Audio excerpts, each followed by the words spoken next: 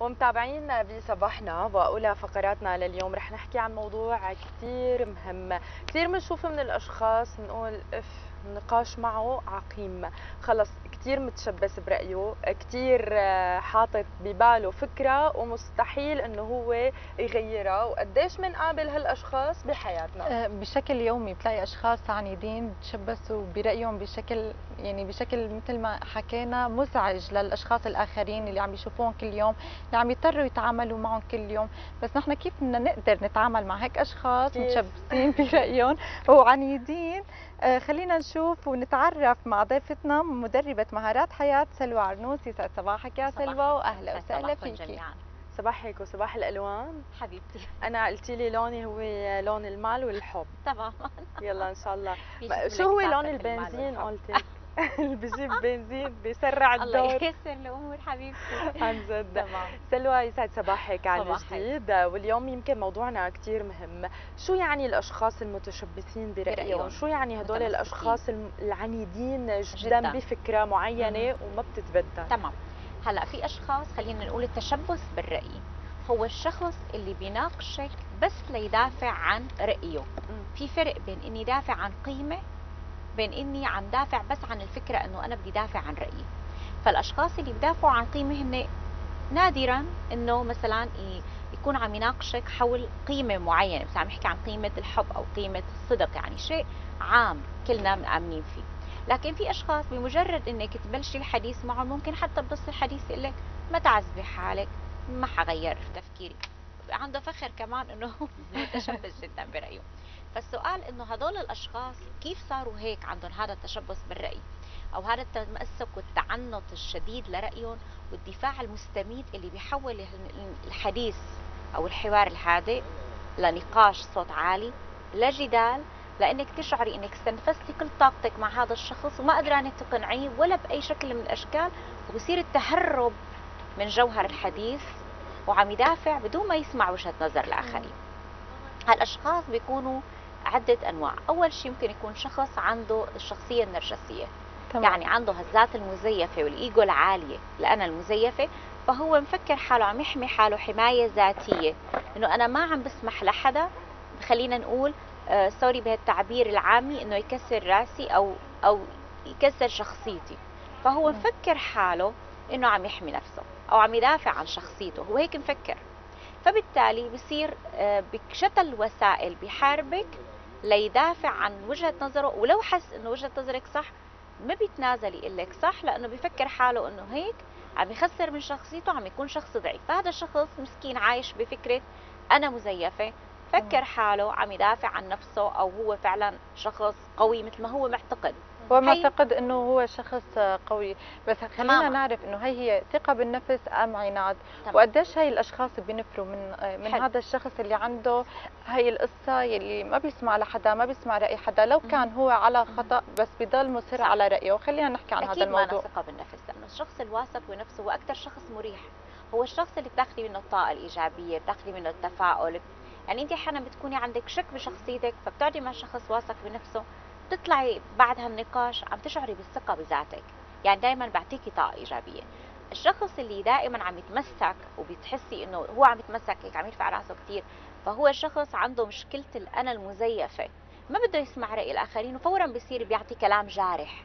يعني بحسس الطرف اللي قدامه إنه أنت آه، أقل تف- تفكيرا آه، غلط تفكيرك ما بعرف كيف بتفكر. يعني بينقل النقاش إنه هو الصح. هذا نوع. النوع الثاني اللي هو شخص تعرض للعنف المنزلي بالطفولة. يعني عنده أب معنف. هذا الأب دائما دائما بيقول خلص أنا قلت كلمتي وخلص أنا قلت كلمتي وخلص أنا قلت كلمتي وخلص. ما بيترك مجال للحوار بالبيت. فهو. نشأ بأسرة فيها عنف.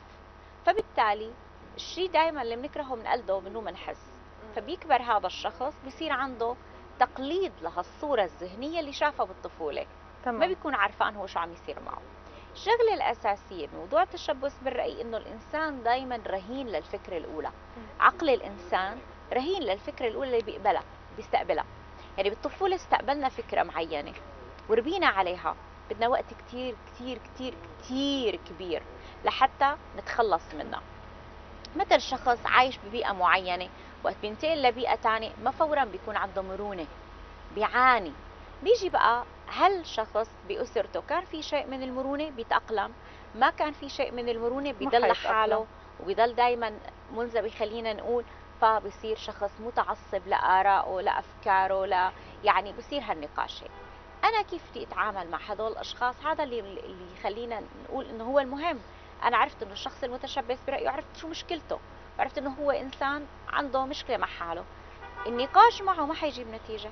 بس تلاقي شخص تشبث برأيه لمجرد التشبث بالرأي. وهو الصح. ونحن غلط. بكل هدوء وبساطة إنه رأيك وبحترمه. يمكن في يكون في وجهة نظر. بس هلا هو كثير حيتذاكر لأنه متشبث برأيه بده حتى أنت تقتنعي. وبده يناقشك وياخذ وقت معك. بالنقاش ويثبت لك إنه رأيه هو اللي صح وإنه هو تماما. انتصر. كأنه هو عم يبني شخصيته على انتصاراته الكلامية. لأنه دائما ما في شيء اسمه خلينا نقول صح. الصح صح عندي بس مو بالضرورة يكون صح عند الطرف المقابل لإلي. في صح لإلي في غلط لإلي. في صح لإله في غلط لإله. كل إنسان صح حسب وضعه. يعني دائما قراراتنا هي حسب ظروفنا. فما في شيء اسمه آه، قيمة مطلقة إلا المبادئ اللي هي مثلا الصدق قيمة مطلقة الأمانة قيمة مطلقة الحب قيمة مطلقة. في أشياء ما فينا نختلف فيها. لكن في أشياء ممكن تكون صح هلأ بس مو صح بعدين. عرفتي كيف؟ فمو معقول أنا بدي أفرض رأيي على الآخرين. يعني أنا مني محور الكون. تماما. سلوى خلينا نحكي بنقطة ونناقش هي الحالة. دائما يعني في قناعة صار عنا لكل فعل في ردة فعل تمام. لكل حالة في لها ردة فعل ولكل يمكن حياة أو أو ترباية أو ظروف بالحياة في نتائج معينة. نتائج معينة ولكن في كثير من الأشخاص بنلاقيهم متشبثين برأيهم وما بيسمعوا الكلام يلي عم تحكيه ولكن بالتنفيذ بنلاقي لا الشيء اللي حكيتيه هو عم يتنفذ. هذا الشيء دليل على نقص ولا دليل على عدم الثقة ولا طبعا. دليل على إثبات إنه لا أنا موجود وقت اللي بدي أنا بد... آه يعني بعمل عم الفكرة. عم دافع عن شخصيتي عن الأنا المزيفة عم بحمي حالي إنه أنا لا ما بتنازل. بس يمكن قعد بينه وبين حاله. هي شخصية شوي إيجابية في في نقاط إيجابية. قعد شوي بينه وبين حاله اقتنع بالفكرة نفذ. بس إنه نفذ القصة بكيفه. بس إذا جيتي قلتي له انت رجعت لرأيي بغير التنفيذ. مم. فإذا كان هذا الشخص هو مثلا زوج أنا عم بتعامل معه أو ابني أو مثلا إختي أو حدا بالعمل أنا مضطرة أتعامل معه بشكل دائم بعرف إنه هو ما بيحب يشعر معناتها عنده مشكلة المقاومة خلينا نحكيها. في أشخاص عندهم مشكلة المقاومة يعني هدول الأشخاص اللي عندهم مشكلة المقاومة إذا قال بدي فيق الساعة 6 الصبح ما بيفيق إذا قال ما بدي أتأخر بيتأخر. هو عنده مقاومة داخلية فهو بيكره فكرة الأوامر. بيكون عنده مشكلة بالطفولة بفكرة الأوامر. فمجرد إنك انت تعطيه رأي اللي هو معناتها مو رأي هو نصيحة. انت تعطيه نصيحة توصل للعقل الباطن عنده أمر. شو بيكون عنده؟ عنده مشاعر المقاومة بقاوم هذا الأمر. فبصير بضل بقاومه لأنه هو ما بده يشعر إنه هو شخص مسيطر عليه فعنده مقاومة لفكرة السيطرة. فبضل بقاومك بعدين لما بيقعد هيك مع حاله بيلاقي هالفكرة صح ممكن ينفذها. هدول الأشخاص بيعانوا من فكرة المقاومة ما فينا نحكي معهم بطريقة يشعروا فيها إنه أمر. فإذا أنا كان عندي شخص هيك كتار ممكن نحن يكون عندنا شوي من المقاومة. كيف بعرف حالي إذا عندي مشاعر مقاومة؟ هو أنا لما بقول ناوية أعمل هيك ما بعمل ما, بعمل. ما بنفذ. يبقى أنا عندي مقاومة وفعلا بلاحظ حاليا وقت أنا أدخل بنقاش قاوم. يبقى أنا عندي مشكلة المقاومة. يبقى لازم أعالج حالي. بس هي نسب شو بعمل مع هدول الأشخاص؟ ما بيجي بنصحهم بشكل يشعر إني عم بأمره؟ لما بفتح معه حديث أو نصيحة أو كذا بقول له إنه يمكن إذا عملنا هيك يكون صح. بحول فكرة النصيحة لسؤال. إنه شو رأيك؟ يعني أنا حولت خليني أقول الأحقية بالرأي لإله. تمام. هون هو بيشعر إنه هو اللي نفذ. تمام. فبيقول لك إنه إيه فيها وجهة نظر وطبعا لازم يحط بصير هون بيناقشك. بالنقاش طبعا طيب. لازم يكمل الفكرة هو. أكيد. خلينا نحكي سلوى. إمتى بيكون تعصب للرأي نقمة وإمتى بيكون نعمه خلينا نحكي عن هذا أوكي. الموضوع. وكمان الأشخاص مثل ما حكينا إنه هذا الشيء بيستمر معهم من طفولتهم لحد ما يكبروا. يعني تمام. هي صفة ملازمة كل الحياة. تمام. إمتى بيحتاج الشخص لعلاج؟ ويروح عند أخصائي آه، نفسي أو اجتماعي ليتعالج من هالموضوع. أوكي هلأ نحن سألتي سؤالين. السؤال الأول إنه إمتى بتكون نقمة وإمتى بتكون نعمة. التعصب للرأي بكل أحواله نقمة. التشبث أو التمسك خليني أقول. بالقيمه القيمة هو نعمة. اني أنا أتمسك بقيمة أتمسك بقيمة عائلتي ما فرط فيها. أتمسك بقيمة إنه أنا أولادي آه، مثلا رقم واحد بحياتي برأيي الشخصي إنه أنا لازم أهتم فيهم. مثلا أشخاص يقولوا إنه عادي مثل مو ضروري تحطهم بمدارس مرتبة مو ضروري كذا لا أنا ضلني متمسك بقيمة إنه العلم رقم واحد مثلا. تمام. حقي إني دافع عن هالفكرة هالقيمة لأنه هذا حياتي الشخصية. فهي هون قيمة اسمها قيمة بتخصني دافع عنها. تشبث بالرأي لمجرد إني أنا أتشبث بالرأي ما بدي أسمع وجهة نظر الآخر حتما دون تفكير هذا شيء سلبي. دائما لازم أسمع الإنصات أهم من الكلام. لازم اسمع لأنه أنا إذا ما بسمع الطرف الآخر وما بسمع اللي حوالي ما بتطور. الإنسان يتطور بالسمع لأنه السمع بيساعد على الإنسان إنه يعرف الحقائق. هي شغلة. الفكرة الثانية اللي قلتي لي إنه التشبث بالرأي ملازم بحياة الإنسان. مو دائما سبب الطفولة إلنا.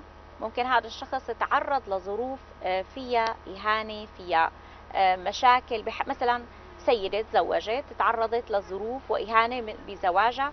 شعرت إنه شخصيتها آه، خلينا نقول تكسرت كثير ارتبطت ارتباط ثاني بتحاول تدافع عن أنا جديدة صنعتها مزيفة فبتصير دائما بتقول لا لا لا لا لا لا لاي شيء. هون عندنا مشكلة. عرفتي كيف؟ فممكن تكون قصة جديدة. فنحن هون كمان بدنا علاج. إمتى الإنسان لازم يفكر يعالج نفسه أو يروح عند مختص الإنسان دائما ما لازم يخسر علاقاته. إذا شعر إنه كل ما بيفتح حديث مع حدا عم يخسر علاقاته وبلشوا يقولوا له إيه متشبث برأيك؟ إيه فكر حالك أنت الصح؟ فهل أنا كثير شيء بيسرني إني أخسر عائلتي وأخسر رفقاتي. وأخسر علاقاتي الاجتماعية؟ ما في إنسان ما عنده خطأ بحياته والاعتذار قوة. فأنا ثقتي بنفسي بإني أقبل إني أتغير بإني أكون شوي إيجابي. أسمع الآخرين أتثقف أتنور.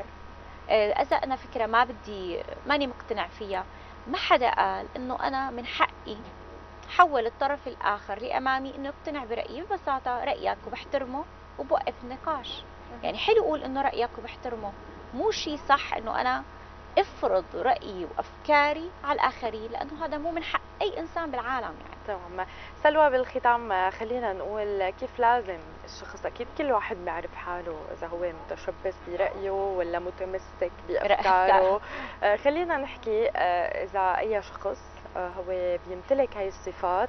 آه، كيف فيه هو يحسن حاله؟ طبعا. آه، كيف فيه هو يكون هيك مرن أكثر مرونة بال- بالنقاش ويدرب حاله على إنه يسمع الغير ويتعلم من صح. تجاربه.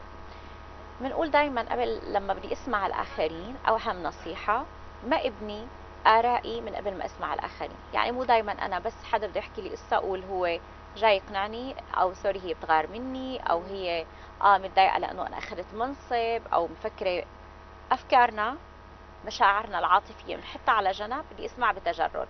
يعني خليني أسمع القصة كأنه أنا مالي طرف فيها دائما وخليني أتوقع الإيجابي.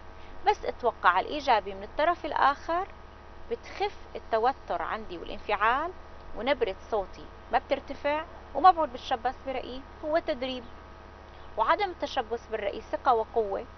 إذا قلت للطرف الآخر رأيك وبحترمه أبدا ما نضعه. المشكلة إنه نحن عنا مغالطات بين فكرة الضعف وفكرة القوة. دايما بنربط القوة بالخطأ.